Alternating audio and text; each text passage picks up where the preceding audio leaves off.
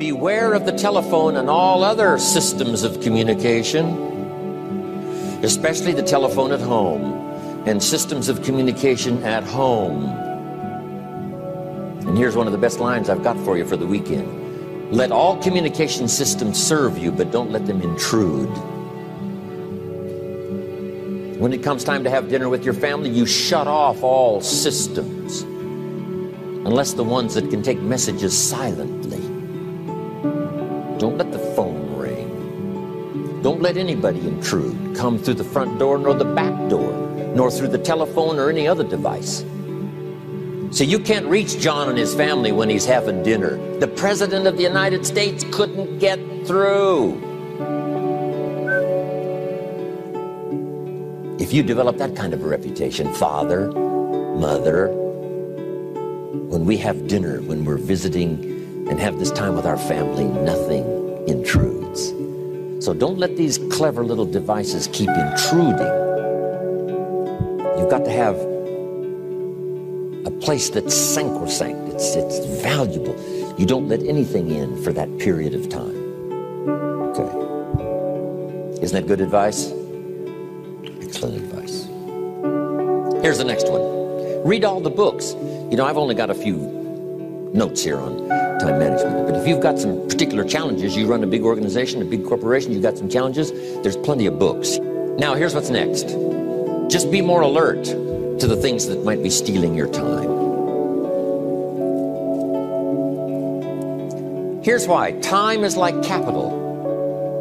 You can't let someone steal your seed corn. You can't let someone steal your capital. And you can't let someone steal your time. You must designate your time. And some of the time that you designate, you must not let anyone steal. Casual time, you might let someone intrude and steal a little bit and take a little bit, but not serious time.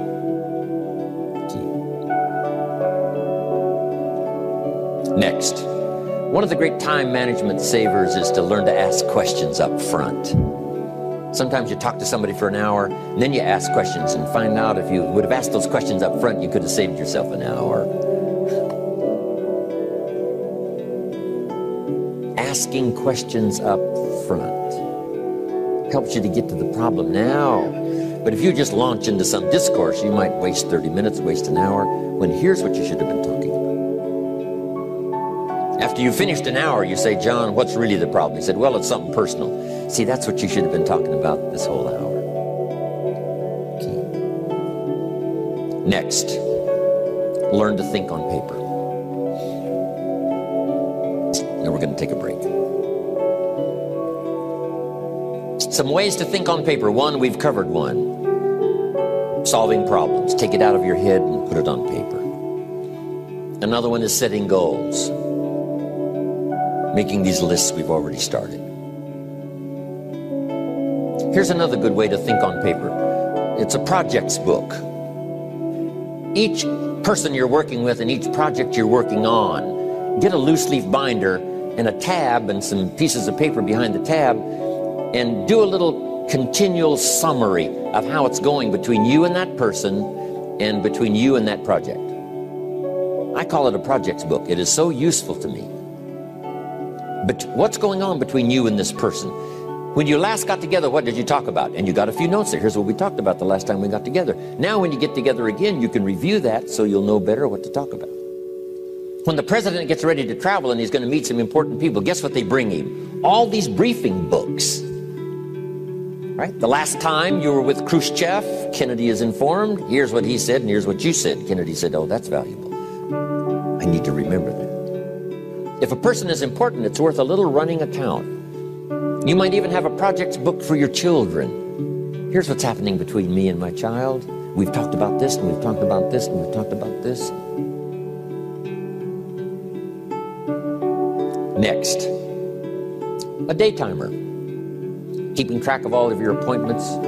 You know, mine is all filled with, you know, when to catch an airplane and when to do a seminar and when to sit down and have a conference, all the rest. Next is a game plan. You know, if you've got a house and the you know insurance is going to come due and some other things are going to come due, you just put it on a spreadsheet and make sure it's taken care of. Key phrase: take things out of your head and put them on paper. And the key is to just experiment with different ways that helps you to do that. Now, here's the last one thinking on paper, and that's to keep a journal. One of the things I'm known for around the world, have been now for 39, 40 years, is keeping a journal. Now, my journal is not a, you know, it's not necessarily a, it's not like a diary. It might be part diary. You know, I'm flying over Ireland and I write down a few little things that impress me. Uh, today I met this person. Uh, what an extraordinary event. Uh, today I conducted this seminar in Rome. A thousand people stood up and sang for me. I've got a little bit of a diary in there. But here's what primarily your journal is for collecting good ideas. A journal is to collect good ideas on your health, good ideas for your business, good ideas for your future, good ideas for time management. Because I used to take notes on pieces of paper and torn off corners and backs of old envelopes and restaurant placemats.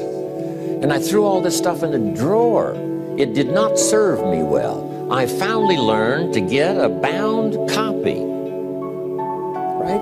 And just keep a journal, right? If I was here, I had my journal, I'd be taking notes, right? These two days in my journal. Now, if you're caught without your journal, you just take the notes when you get back home. You put those notes in your journal, throw the paper away. Because we don't usually go through paper to review. But see, my journals now make up a significant part of my own library. My journal's all reserved privately for my children and my grandchildren. Can you imagine what I've collected over the years? It's.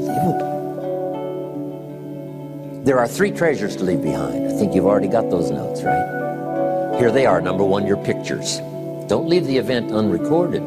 It takes only a fraction of a, cent, uh, of a second to say, here's who I was with.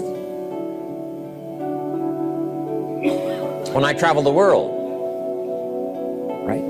We take all these pictures, and here's one of the gifts. People send me the pictures they took of me and them. It's part of the treasures I have on the farm.